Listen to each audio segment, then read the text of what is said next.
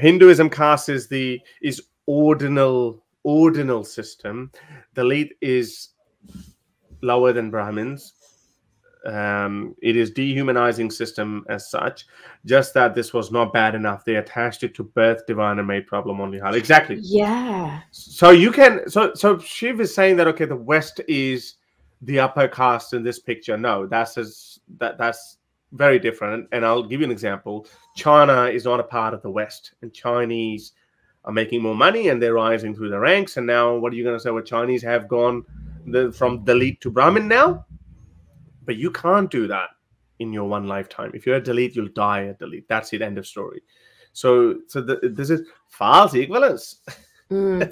And and like Yeah. you said, that that second point is really good because it's this cycle of entrapment, right? When you start attaching it to things that are factors that are beyond a person's control. So you say that if you end up as a Dalit or as an untouchable in this world, well, it's because you royally messed up in your past life.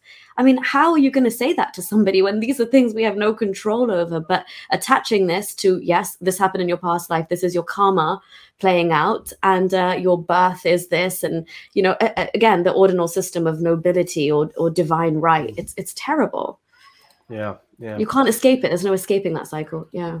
Those Westerners who want to be Hindu, I welcome them to be Dalit's untouchable caste. No one Yeah. tell you true. ginger taste until you do it yourself. Exactly. I don't, I don't think there are many Westerners. I think the, the only Westerners who get attracted to it are those sadhu guys.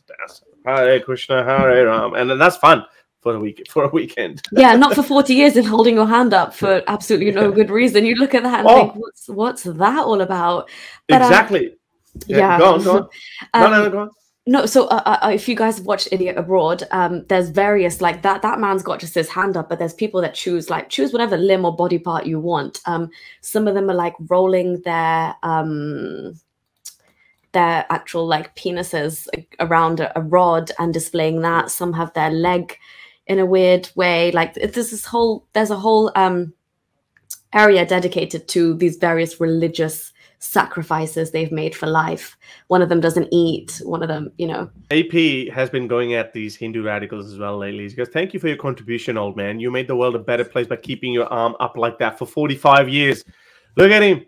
His left, his Yeah. right arm has shrunk and his nails are grown. So 45 years he's been standing like that. Or, or he's been he's been holding his arm up like that. Yeah.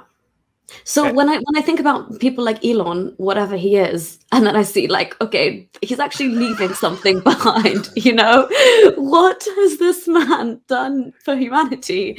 Yeah, well, that's Well, what the- that's what Ridwan is saying. He's saying you people are so sensitive. Don't lose your minds when someone makes a joke or says anything, something that you find slightly offensive. You're all amused when Muslims are outraged. Exactly, dude. It's an act of determination and devotion. They Okay, take Harsh. oath to the divine. I'm not mm-hmm. imitating. I'm just I'm just imitating the attitude. It's like celibacy. Till they don't find the divine, they won't rest their hand. Blah blah blah. So he goes. So did it? Did, did, did it do anything good for to anyone, including himself? No. But these guys are just. I think even Shiv would probably be offended by that because we're like, no, you gotta, you gotta. This is this is cool. This is cool. no, but why? Why you- is it good? Also, I, I- Statue of Liberty's yeah. got it. This is Statue of Liberty. This, this is a statue of Hindu Baba. I mean, like dedication though. I, I get tired like holding my phone on a FaceTime. This guy's been there for 40 years. 45 plus. 45 years. Um, but Harris, also, I think you guys um, make a really good point when I've seen like yourself, Ghalib, uh, probably whoever else is, is like having to deal with a lot of the Hindutva crowd, is that you ask a simple question. Like, if you want, like, imagine you did Ghar Wapsi, so you're going back to Hinduism um, to follow the path of your ancestors, as they claim. When you ask them, what, Harris, when you ask them, oh, I need to, Harris, Okay. when when you ask them what caste would I be, that Mm. is a, a, a bloody great question because uh, what do you do to initiate a new person and uh, how what do we go off do we do we look in do we have past life regression and see what we were in our past life to see what we're going to be in this one how does it work for somebody that's not part of this ordinal system so i love that you guys uh, I, I checked the answer the the responses to your question and i was Did like you read one's it? giving I, I I read your question, but I didn't get a good response back. Did Here you? it is. No, I, I, I don't. I don't read comments. He says, oh, Okay. I, I, 'cause look at this 1k comments i know most of them would be abusive Oh. or discriminatory or ins- insulting i said Okay. i asked a question i put a poll on my Urdu channel i said if i if i became if i became a hindu oh no you're talking about on twitter i think i asked that on twitter as well oh right right no i don't read those I, I saw it on here actually, but I'm, I'm going to check these comments after the stream and see if there's any like actual answer for what would you be? people people naturally leave systems organizations that don't work exactly but if you add divinity god to it mm, become you add an extra layer of firewall you can keep you, you can keep people struggling with these systems with no end in time this is what caste is exactly Yeah, muslim that's what religion women well. Muslim women as well, Nuria. You could probably comment, and elaborate a bit more. Um, even if they're doubting, but they're hijabis, how hard it is. It's not only just the fact that they have to leave the religion, but also the the other discriminatory elements that come with it, and even in her own mind as well. She's going to be like, "Oh, hang on, I've only I've only ever known going out wearing this cloth over my head." Yeah.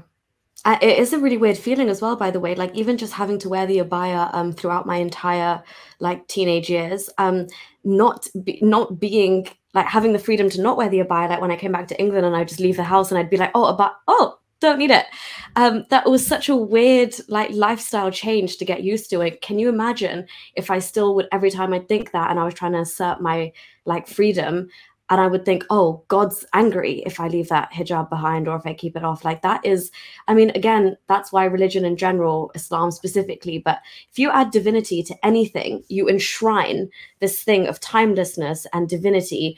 You you can never evolve, and that is the problem. That's why I stay stay clear of reforming um, Islam as like a you know f- like a really feasible thing for humanity. I feel like it's it, it's you've got to cut it at the source because Islam does that. The it, it ingrains guilt and fear into you because God is there watching and waiting to see as like the woman described yesterday on, on in my stream if if we're plucking out eyebrows or not that's how close god is that's how much of an eye he's keeping on us is whether we're going with perfume and whether we're threading our eyebrows so the guilt runs very very deep and it just adds to the stockholm syndrome that you know a lot of muslim women are, are naturally facing there, there was a comment. It said there's no similarity between caste, Hindu caste system, and uh, a Muslim hijab. Uh, you, you, I don't know. Are people too simple, or they can't actually go above a certain layer? We are drawing parallels. You know, parallels mean there is a similarity, not exactly the same thing, and we just explain that to you that how certain things that are ingrained in your mind in your psyche that this is who you are and then there's and as, as i said if you add divinity to it you add divinity that brahmin is up there and dalit is down there so even the dalit sometimes settles for less and he he accepts it and he can't break the circle cycle of it unless he throws the whole divinity out of the bus um, under the, under the bus just like that a muslim woman even if it goes against her wishes and against her whole being, there's a divine element to it. The divinity of Allah is there that says that, hey, if you want, you're you're a woman, and I want you to put this cloth over your head. Do you get it now, Mr. Miller?